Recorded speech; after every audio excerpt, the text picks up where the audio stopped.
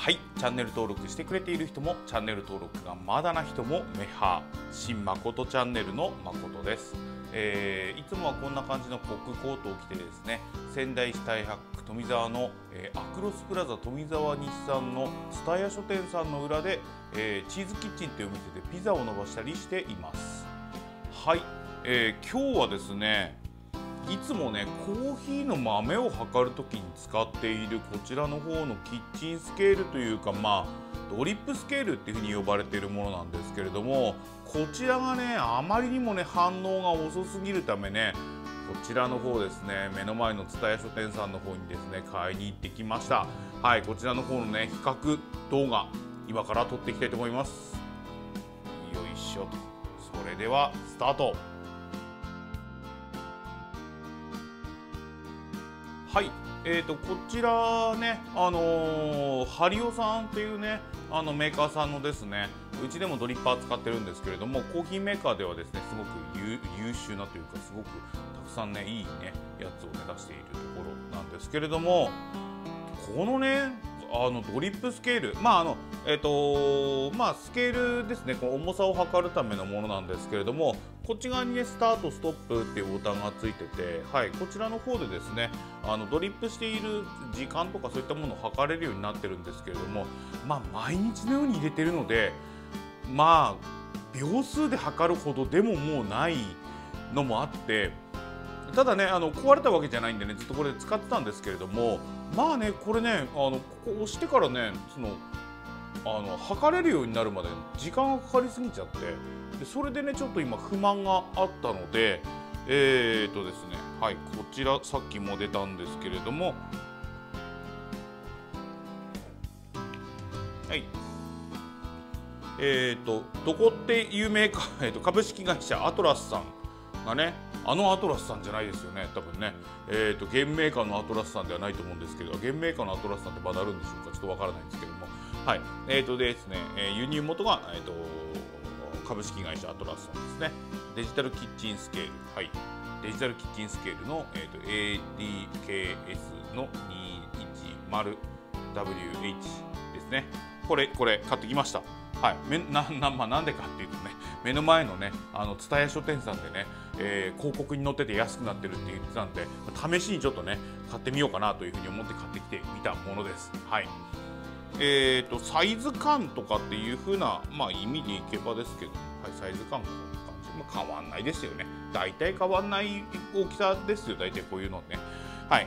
でまあまあこっち白いこっち黒でねあの黒汚れ目立たなくていいんですけど。ちょっと白は汚れが目立つんですけども、まあ、とりあえずねやってみたいと思いますけども、まあ、これね古いのもあってこれなんかね見たらねこっちはね2017年製とかっていうふうに書いてありましてこっちはねもっと古いんじゃないかな。昔買ったんでちょっとどこで買ったかもいくらで買ったかもちょっと覚えてないんですけれどもはい。あのーまあ早いでしょこっちよりもね全然ね。ということで、えー、とこちらの方ですね。ちょっと比較動画今から撮っていきたいと思います。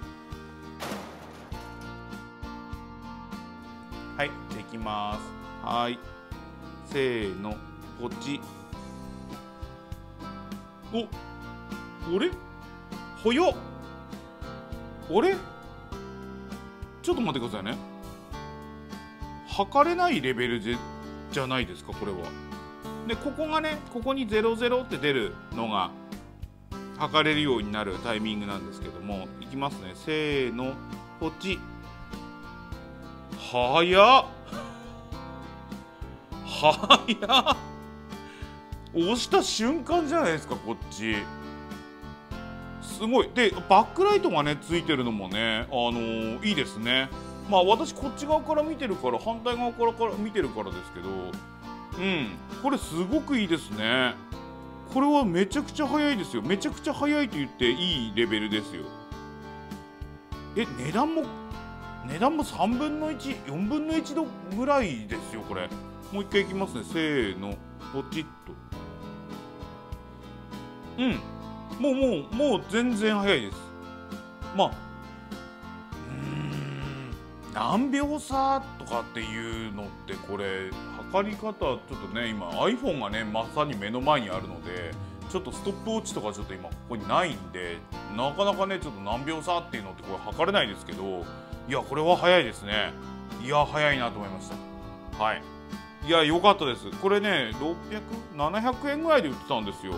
ちょっと追加買いしてきてこようかなっていうふうに思うぐらい早いですね。はい。ああとそうですね。あのー、あとはこれあのここにこう荷重がかかった時にこの表記がねあの止まるまでの時間もね結構ね違いがあるのではい。この間のこの間買ったねまた後で別の動画で出したいなと思いますけどもはい。カール・ツァイスのですねはいレンズですね。はい。こういうレンズねこう載せるじゃないですか。はい載せました。はい止まりました。載せました。止まりました。これはあんまりあんまりそんなに速さ違わないですかね。はい。